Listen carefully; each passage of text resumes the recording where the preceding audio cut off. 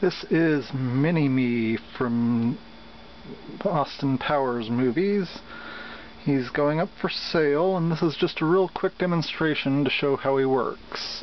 He doesn't talk per se, but he just makes one little uh, sound that was typical of him in the movies. Anyway, first we switch him to on his battery box isn't actually connected to anything, so he's not supposed to even, so he doesn't move, he's not animatronic or anything. But all you do then